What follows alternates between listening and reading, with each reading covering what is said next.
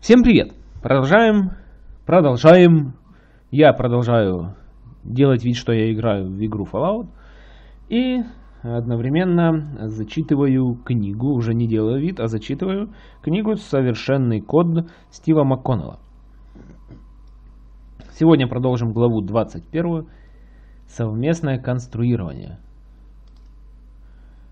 Э, в частности, продолжение будет с подглавы э, «Другие методики совместной разработки программного обеспечения». Ну, сначала, конечно же, загрузимся. Я тут в этом Сан-Франциско зашел тут на базу. Зашел на базу, короче. Решил вступить в хабологи, или как их там. Потому что, смотрю, у них тут база. А этих э, вступить в хабологи можно... А где это? В НКР, во. Я сейчас туда поеду. И там с этим просвещенной или просветленной надо поговорить. И там вроде как можно будет э, вступить в это сообщество. Так, ладно. Надо э, дойти до машины, сесть в нее и поехать. Так, что у меня тут с опытом еще много до следующего уровня. Еще много. Так, Сан-Франциско. Ну что ж, поехали в НКР. Опа, опа. Блин. Они так стали. Не...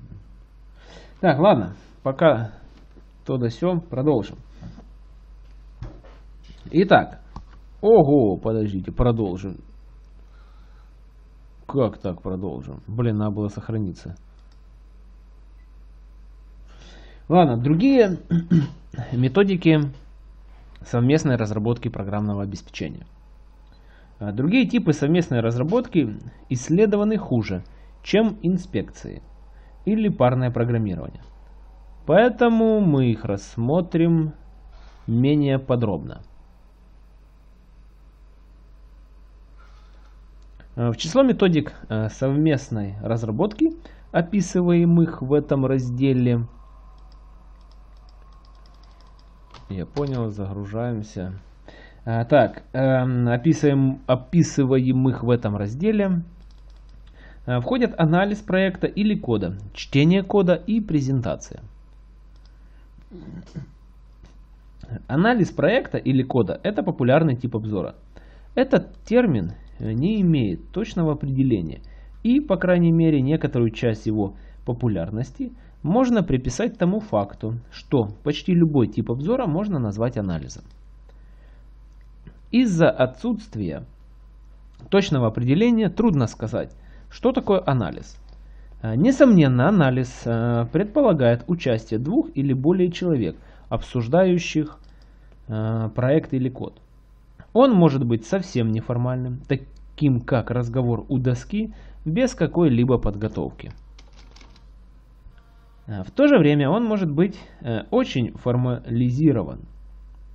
Э, примером может служить запланированное собрание с просмотром презентации, подготовленной отделением дизайна и отправкой формального отчета руководителям. В некотором смысле единственным необходимым условием проведения анализа является присутствие двух-трех человек в одном месте – Сторонникам анализа нравится расплывчатость такого определения. Поэтому Стив МакКоннелл просто укажет некоторые главные аспекты э, анализа и позволит вам разобраться с остальными деталями самостоятельно. Итак, первый аспект. За проведение и координацию анализа обычно отвечает автор проекта или кода, э, подвергающегося обзору. Второй аспект. Предметом анализа являются технические вопросы. Это рабочее собрание. А, третий аспект. А, все участники готовятся к анализу, изучая проект или код и выискивая в нем ошибки. Четвертый аспект. А, анализ позволяет опытным программистам передавать опыт и дух корпоративной культуры молодым программистам. С другой стороны, молодые программисты во время анализа могут предложить новые методологии и подвергнуть сомнению старые и, возможно, уже неэффективные методики.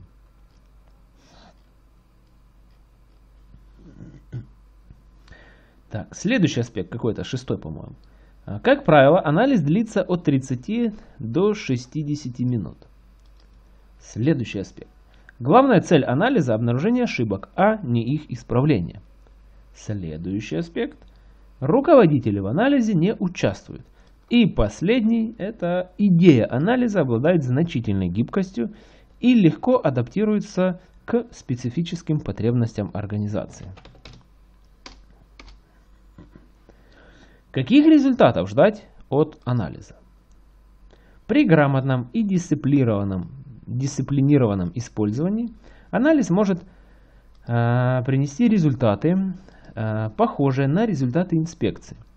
То есть э, типичной ситуации.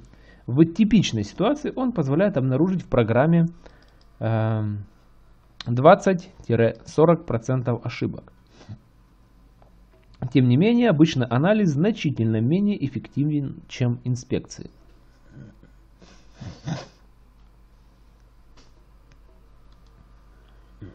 При неразумном использовании анализ не выгоден. Э, нижняя граница эффективности анализа это 20%.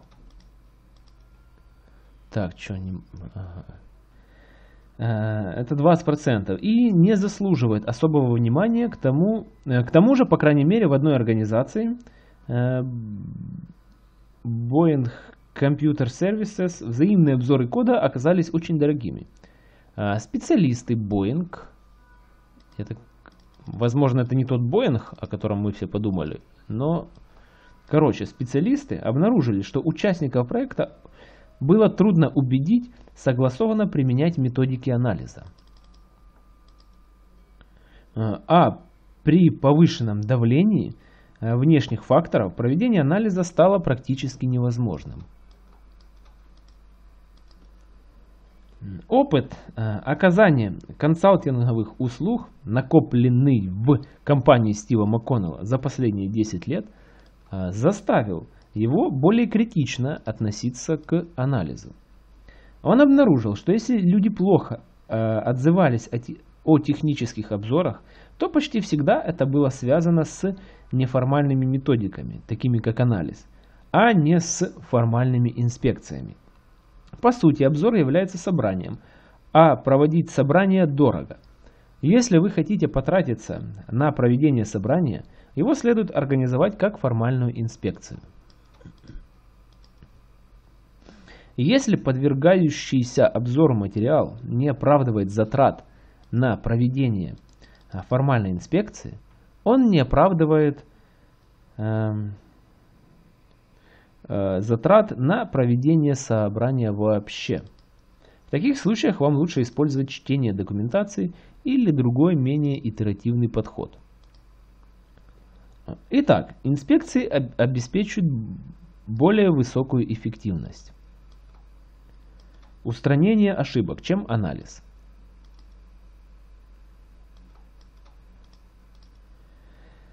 Какая же причина может заставить кого-то э, использовать анализ? Если обзор э, выполняется большой группой разработчиков, анализ хороший вариант обзора, потому что он позволяет изучить проблему над многими Э, разными э, углами, э, под многими разными углами зрения. Если каждый участник анализа приходит к выводу, что решение не имеет серьезных недостатков, скорее всего так оно и есть. Если вы привлекаете к обзору специалистов из других организаций, анализ также может быть предпочтительным вариантом. Роли, назначаемые при инспекции, более формализованы, и их эффективное исполнение требует э, некоторой практики.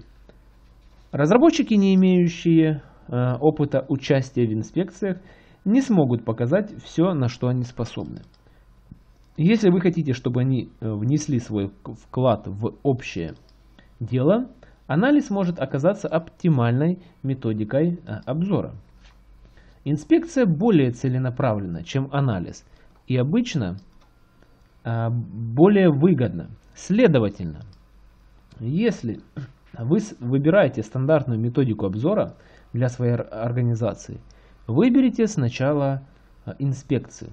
Если только у вас нет убедительной причины поступить иначе.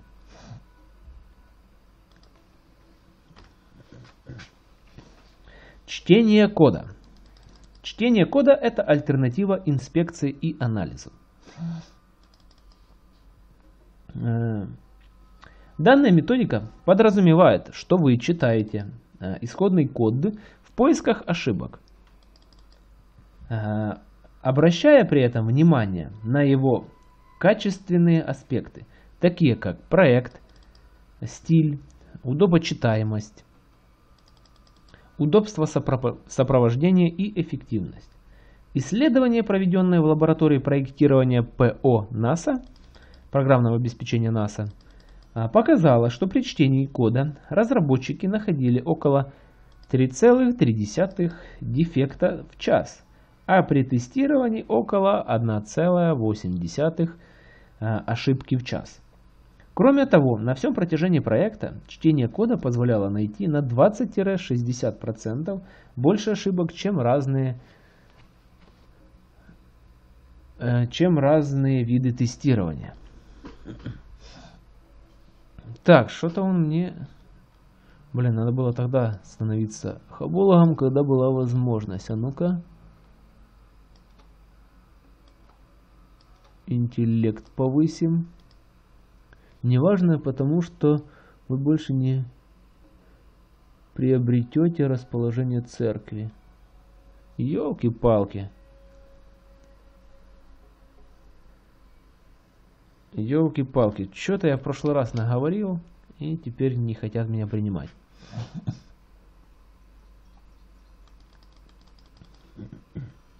Ладно.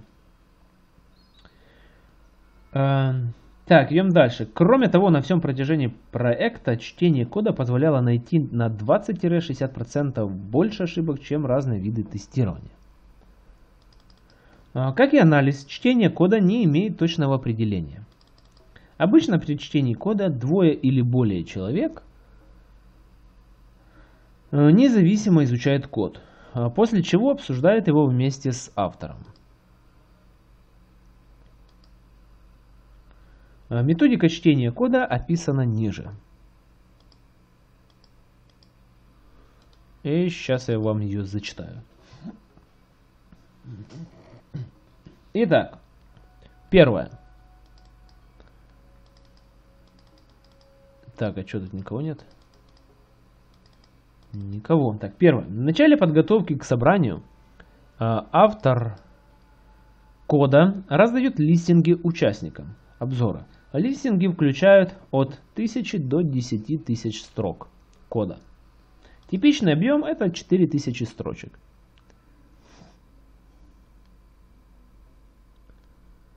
Эм, следующее. Двое или более разработчиков читают код. А, чтобы э, поддержать дух соревнования, привлекайте к чтению кода минимум двух человек. Если в чтении кода участвуют три или более, оценивайте вклад каждого из них, чтобы вы знали, как э, дополнительные участники э, влияют на результаты. Следующее. Участники обзора читают код независимо друг от друга. Обычно продуктивность составляет примерно 1000 строк в день. Дальше. После того, как участники обзора завершили чтение кода, автор кода проводит собрание. Собрание продолжается 1-2 часа и фокусируется на проблемах. Блин, что такое?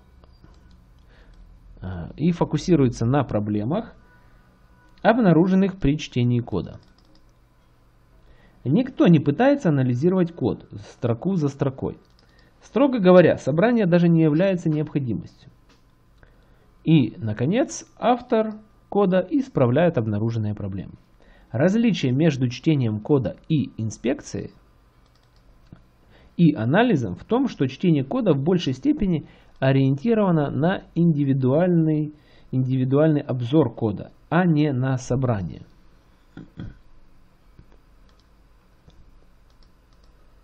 Это позволяет каждому участнику обзора уделять больше времени непосредственно поиску проблемы. Э, меньше времени тратится на проведение собраний, предполагающих, что каждый участник э, активен э, только часть времени и требующих значительных усилий для координации действий группы.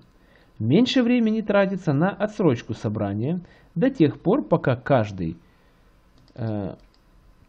член группы не найдет два свободных часа. Чтение кода особенно полезно, если участников обзора разделяют большие расстояния. Изучив результаты 13 э, обзоров, э, специалисты AT&T обнаружили, что важность собраний, посвященных обзору, была относительно невысокой. 90% дефектов разработчики, разработчики находили при подготовке к собранию и только около 10% во время самих собраний. Итак, презентация. Презентацией называют обзор, при котором система демонстрируется заказчику. Такие обзоры – обычное дело при разработке программного обеспечения для правительственных организаций, которые часто требуют выполнения обзоров требований, проектов и кода. Цель презентации – показать заказчику, что работа продвигается успешно. Так что этот обзор – выполняемый руководителями, а не технический обзор. Не рассматривайте презентации как способ повышения технического качества продукции. Подготовка к ним может а, оказывать косвенное влияние а, на техническое качество, но обычно при этом больше времени тратится на подготовку эффективных слайдов, а не на повышение качества программного обеспечения.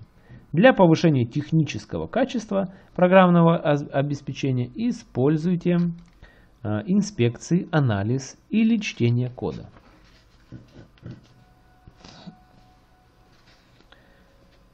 А... Так, так, так. И мы подошли к концу главы. И в конце главы, как всегда, ключевые моменты. Итак, как правило, методики совместной разработки позволяют находить больше дефектов, чем тестирование, и делать это более эффективно. А, методики совместной разработки и тестирование приводят к обнаружению разных типов ошибок.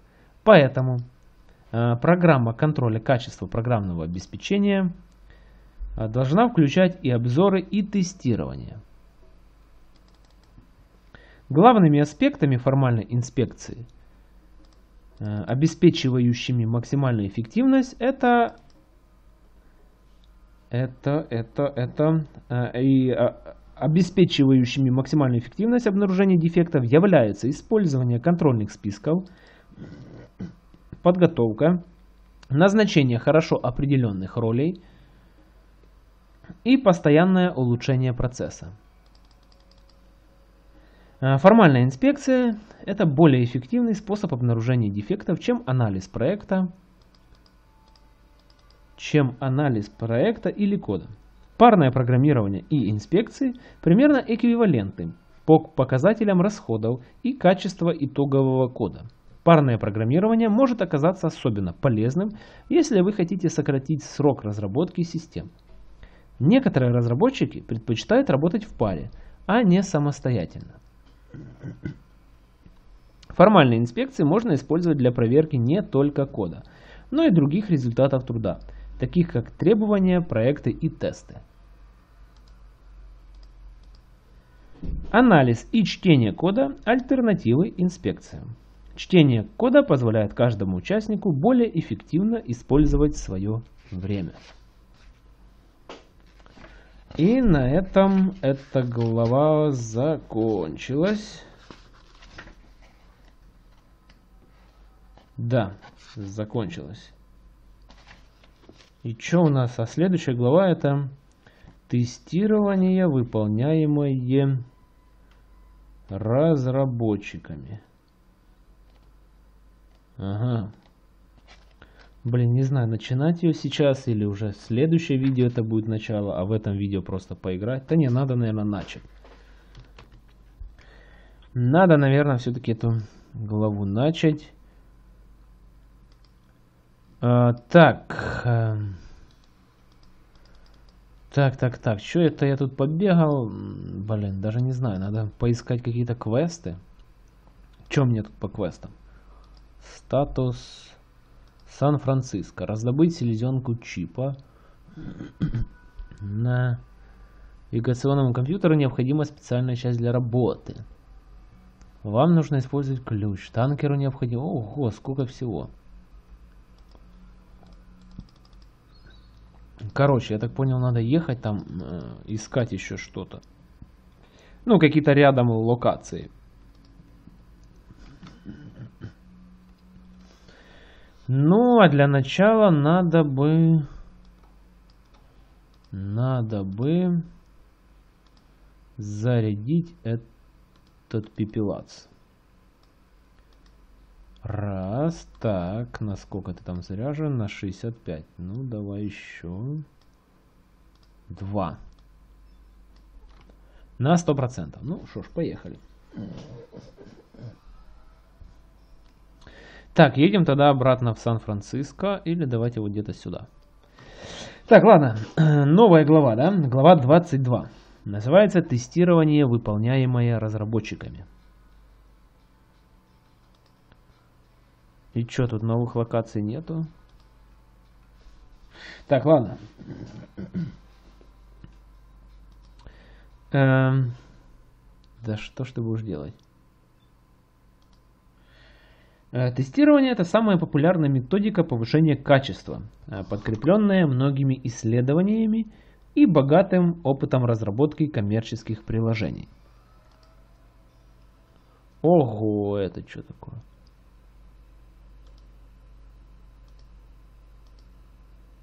Что?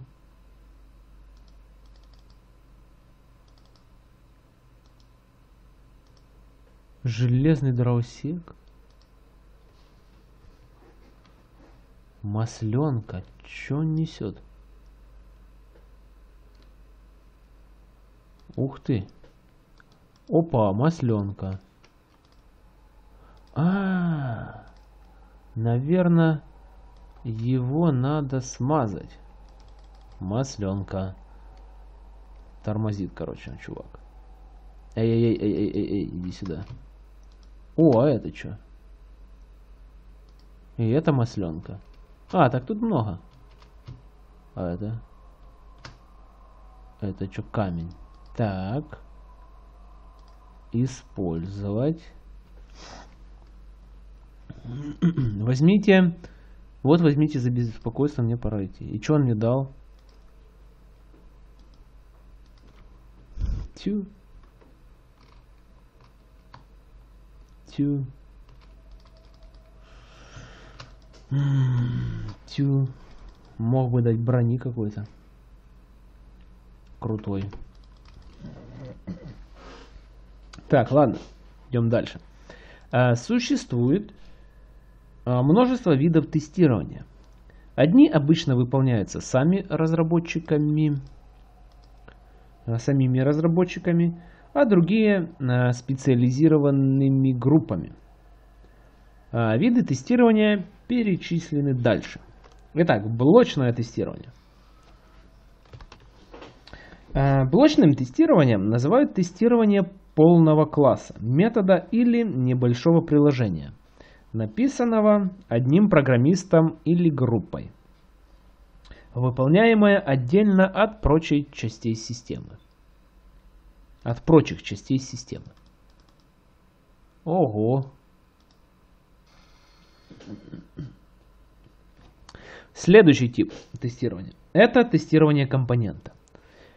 Это э, тестирование класса, пакета, небольшого приложения или другого элемента системы, разработанного несколькими программистами или группами, выполняемые в изоляции от остальных частей системы.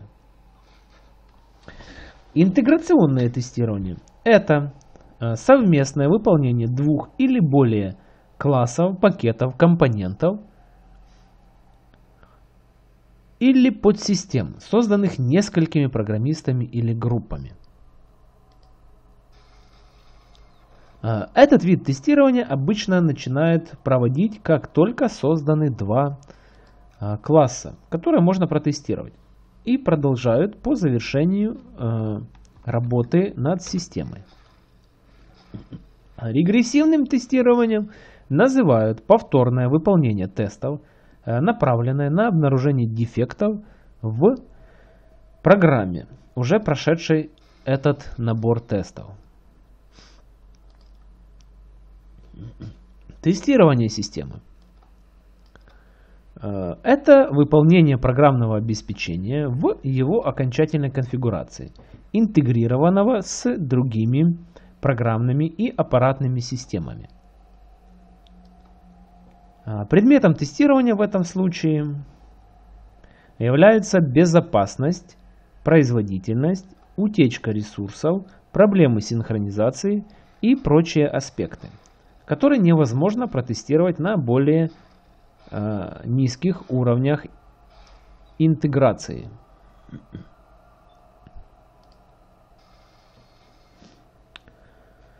Э, в этой главе Стив МакКоннелл называет тестирование, э, выполняемое разработчиками, точнее, тестированием он называет тестирование, выполняемое разработчиками, которое обычно включает э, первых три вида тестирования.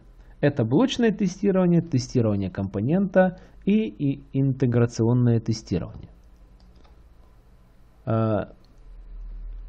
Так, э, многие другие виды тестирования обычно выполняются, выполняют не разработчики, а специализированный э, персонал. Э, в качестве примеров можно привести бета-тестирование. Тестирование системы на предмет одобрения заказчиком. Тестирование производительности, тестирование конфигурации, платформенное тестирование, тестирование в стрессовом режиме, тестирование удобства использования – и так далее. Эти виды тестирования мы рассматривать не будем.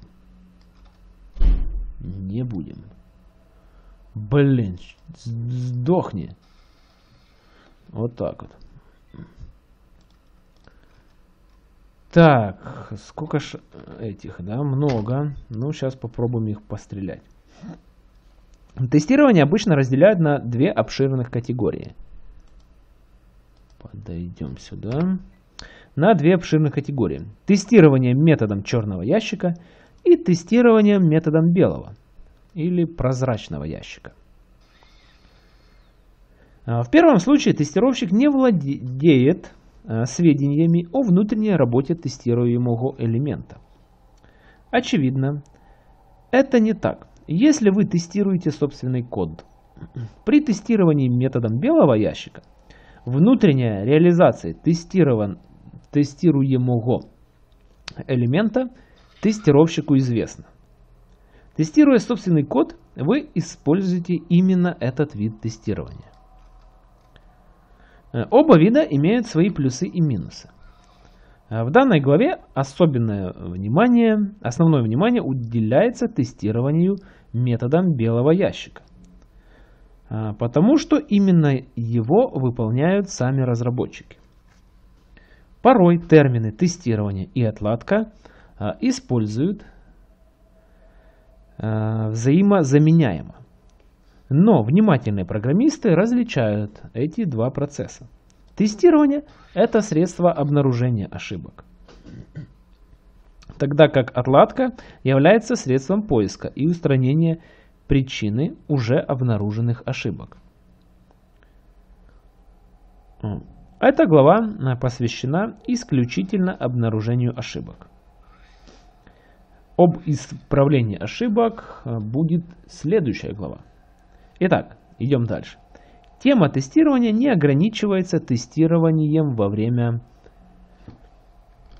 конструирования. Информацию о тестировании системы, тестировании в стрессовом режиме, тестировании методом черного э, ящика и других вопросах, ориентированных на специалистов по тестированию, можно найти в работах, указанных в разделе «Дополнительные ресурсы» в конце главы. Зачем я это зачитал, не знаю, потому что дополнительные ресурсы я обычно не зачитываю. Ну, так получилось. Елки-палки, лучевая болезнь. А, э, у, э, у, э, у, что делать? Делаем вот так вот. А, что выводит? Вот это антирадин, да.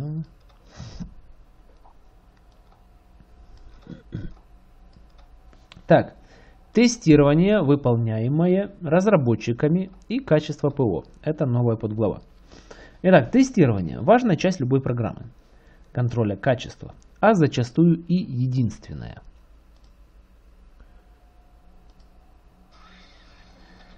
А, это печально, так как разнообразные методики а, а, совместной разработки позволяют находить больше ошибок, чем тестирование и в то же время обходятся более чем вдвое дешевле в расчете на одну обнаруженную ошибку. Каждый из отдельных этапов тестирования Блочное тестирование, тестирование компонентов и интеграционное тестирование обычно позволяет найти менее 50% ошибок. Комбинация этапов тестирования часто приводит к обнаружению менее 60% ошибок. Если у программиста спросить, какой из этапов разработки программного обеспечения менее всего похож на другие, он наверняка ответит, что это тестирование.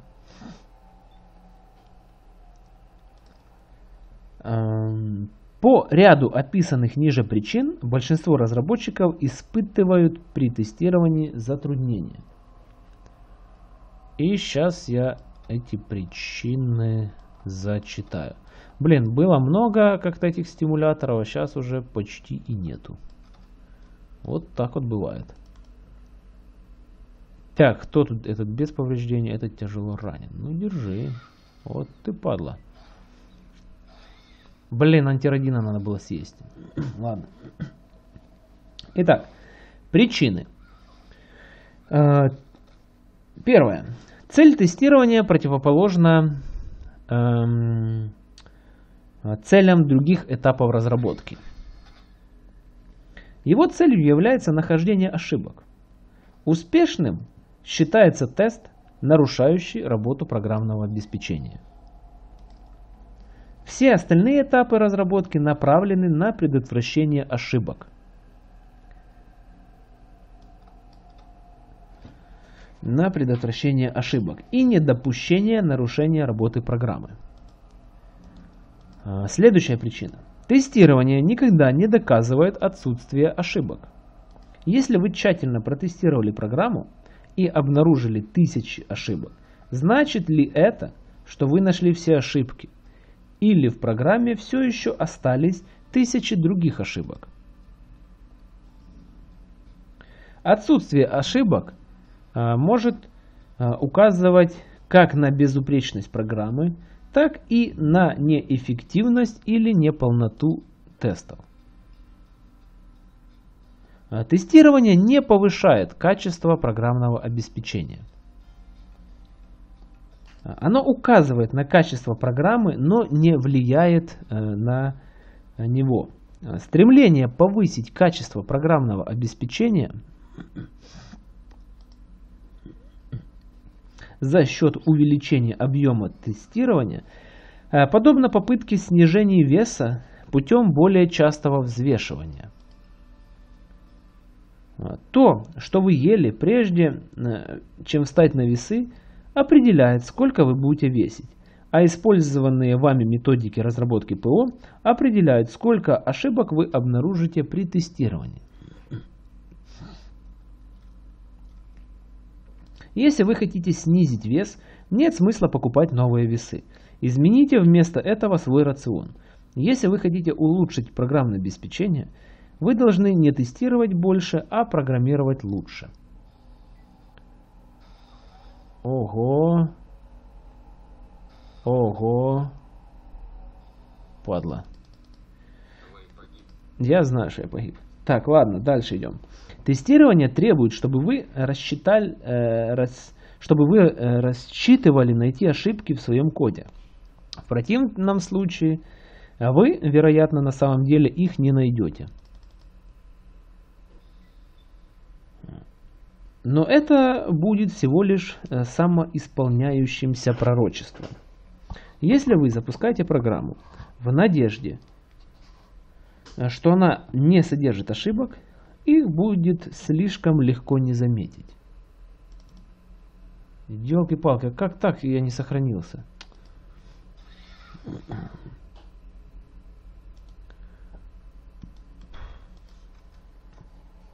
В исследовании, которое уже стало классическим, э, Гленфорд Майерс попросил группу опытных программистов протестировать программу, содержащую 15 э, известных дефектов. В среднем программисты э, нашли лишь 5 из 15 ошибок. Лучший программист обнаружил только 9. Главной причиной неэффективного обнаружения ошибок было недостаточно внимательное изучение ошибочных выходных данных. Ошибки, ошиб, ошибки были видны, но программисты их не заметили. Вы должны надеяться обнаружить ошибки в своем коде.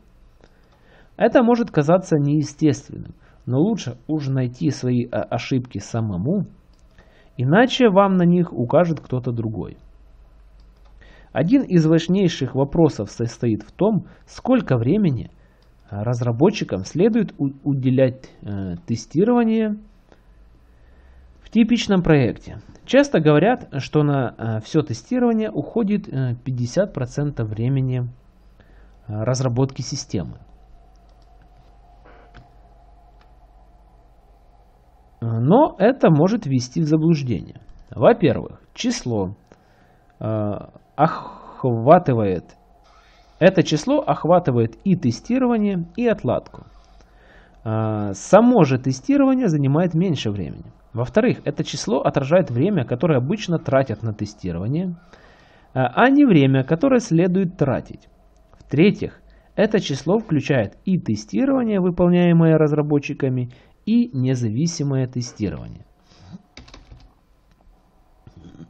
В зависимости а, от объема и сложности проекта, Тестированию, э, выполняемому, выполняемому разработчиками, вероятно, следует посвящать от 8 до 20% э, общего времени работы над проектом. Это согласуется с данными многих авторов. Другой важный вопрос, что делать с результатами тестирования.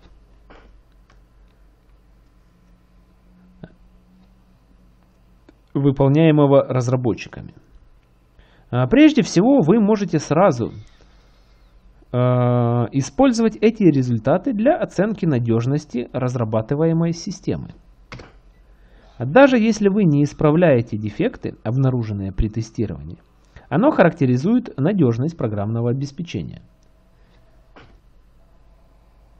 Кроме того, результаты тестирования позволяют определить необходимые исправления. Наконец, со временем регистрации дефектов, э, обнаруженные при тестировании помогают определить э, наиболее частые типы ошибок. Вы можете использовать э, эту информацию для выбора и проведения подходящих обучающих курсов. При подготовке будущих технических обзоров и разработке будущих тестов. Так, сохраняемся. Сохраняемся. Тестирование во время конструирования. Ну, это такая новая подглава. Так, сколько мне до нового уровня, кстати? 8, 7, 7, 600 с чем-то там. Так, в большом мире тестирования тему этой главы, тестирование методом белого или прозрачного ящика, иногда, э, иногда игнорируют. Как правило, проектировать э, классы следует так, чтобы они казались черными ящиками. Пользователь класса должен обращаться к нему через интерфейс, не зная о деталях э, устройства класса. Однако при тестировании класса с ним э, выгодно обращаться как с прозрачным ящиком, анализируя внутренний исходный код, а также входные и выходные данные класса. Зная, что происходит внутри ящика, вы можете э, протестировать класс более тщательно.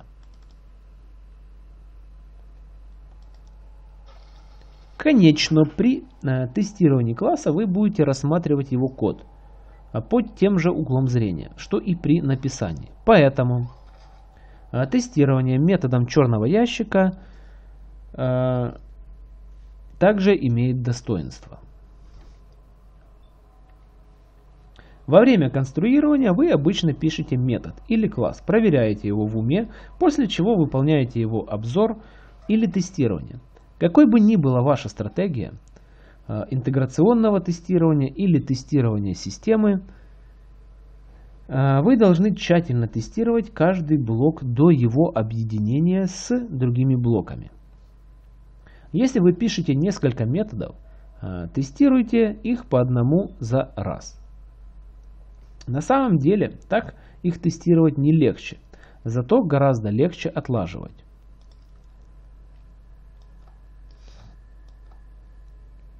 Если вы объедините несколько непротестированных методов и получите ошибку, вы не сможете определить, какой из методов э, в этом повинен.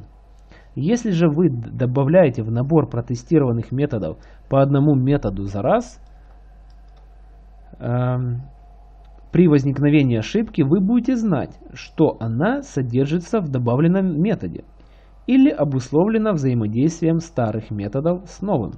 Это облегчит отладку. Так, так, так. Методики совместного конструирования имеют много достоинств не характерных для тестирования. Однако, частично это объясняется тем, что тестирование часто выполняют не так хорошо, как можно было бы. Разработчик может выполнить сотни тестов и все же достичь лишь, лишь эм, частично, э, частичного покрытия кода тестами. Чувство хорошего покрытия кода тестами не означает, что покрытие на самом деле адекватно. Понимание базовых концепций тестирования может повысить его эффективность. Так, короче, блин, вылез того... С... Откуда я? Сан-Франциско вылез, да? Ого, ого, у меня патронов, наверное, не хватит. Что делать? Что делать? Что делать? Блин, э, блин, это классный э, способ, конечно, опыт зарабатывать, но я тупанул, я тупанул. Я не...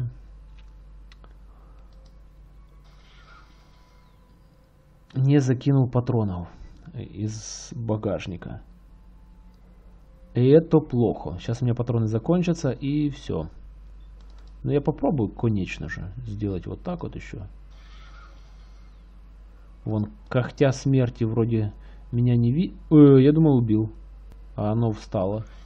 И пошло. Ладно. Ладно, принимаем наркоту. Зависимость, ну, то пофиг, у меня же есть этот. Лекарство.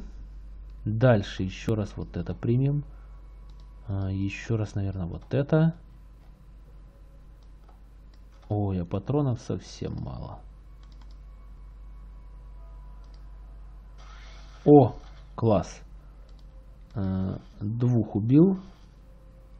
Это хорошо. Вы получаете большую дозу радиации. Блин, а они радиации, да? Пуляются, походу. На тебе, падла. Эх, эх, эх, эх. Эх, эх, эх. Ух ты, собак, видели? А, убил. Так, надо как-то аккуратно подойти к багажнику. Давай, давай, давай, давай, давай, давай. Блин. Ну ладно, пойдет. Пойдет и возьмем... Ой, по патронам мало уже осталось. А патронов мало. Так, ладно, что мы идем дальше? Сохранюсь-ка я. И... И идем дальше. Так, подглава новая. Рекомендуемый подход к тестированию, выполняемому разработчиками. Эм, систематичный подход к тестированию, выполняемому разработчиками, позволяет находить максимальное число дефектов всех типов при минимуме усилий. Э, поэтому соблюдайте правила, указанные дальше. А, итак, тестируйте программу на предмет реализации каждого существенного требования. Планируйте тесты для этого этапа на стадии выработки требований или как можно раньше, лучше всего до написания тестируемого блока. А, подумайте о тестах, которые позволили бы выявить распространенные пробелы в требованиях. Уровень безопасности, хранение данных, процедура установки и надежности системы – это все области тестирования, которые часто упускаются на этапе выработки требований. Тестируйте программу на предмет реализации каждого значимого аспекта проектирования. Планируйте тесты э, для этого этапа на стадии проектирования или как можно раньше, до начала детального кодирования метода или класса, подлежащего тестированию. Используйте базисное тестирование.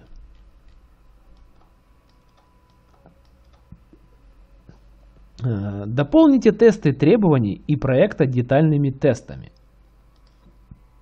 Разработайте тесты, основанные на потоках данных, а затем создайте остальные тесты, а, нужные для тщательного тестирования кода. А, как минимум вы должны протестировать каждую строку кода о базисном тестировании и тестировании, основанном на потоках данных, будет дальше. Елки-палки, у меня еще перелом. А, проектируйте тесты вместе с системой. Это помогает избежать ошибок в требованиях и проекте, которые обычно дороже ошибок кодирования. Выполняйте тестирование и ищите дефекты как можно раньше, потому что в этом случае исправление дефектов будет дешевле.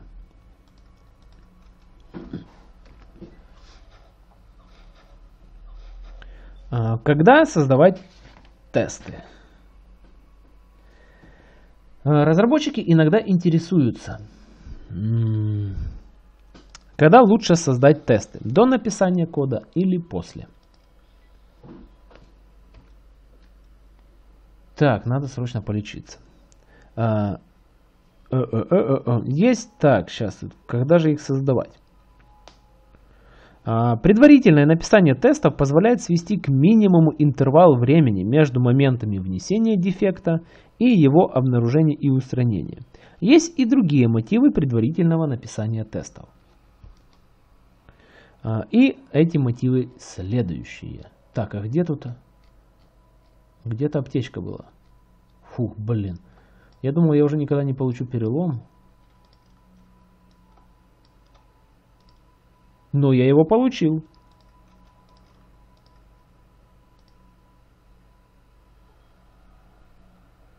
Э, а перелом? А перелом почему не лечится?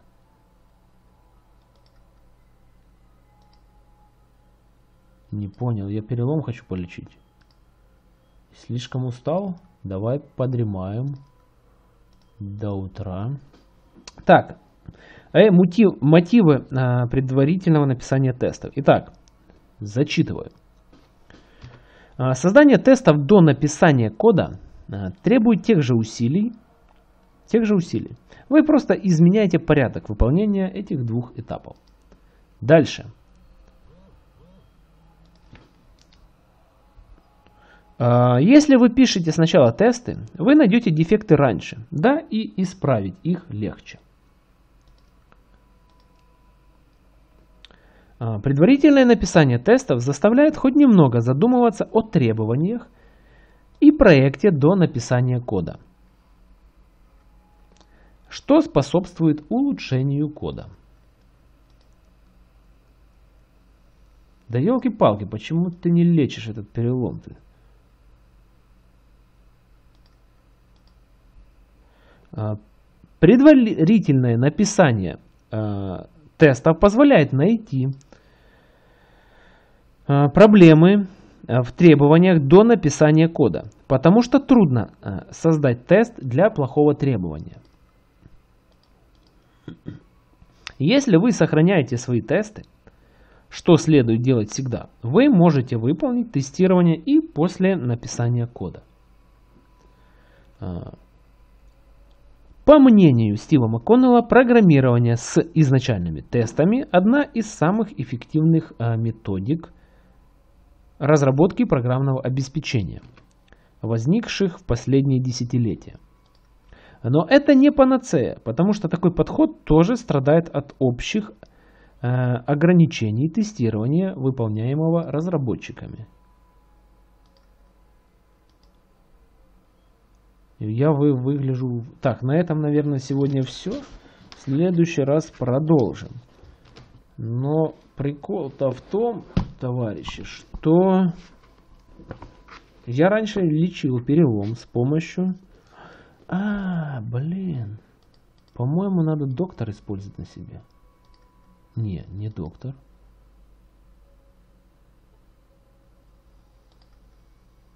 Чё не лечится? Вы выглядите, блин, да я не вполне здоров. У меня перелом.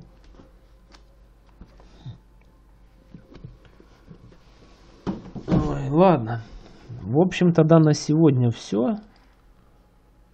Сломана э, нога. Сломана нога. Блин, надо где-то найти э, врача. Блин, зачем я продавал? У меня там был сундук еще какой-то докторский. Сейчас я заеду в Сан-Франциско. Эй, эй. А, тут еще не с... Блин, не с любой стороны заедешь. Только-только вот с этой. Вот так вот. Так. Э, хабологи Чайнатаун. А у меня где-то был такой чемоданчик еще докторский. Так, и им я точно лечился.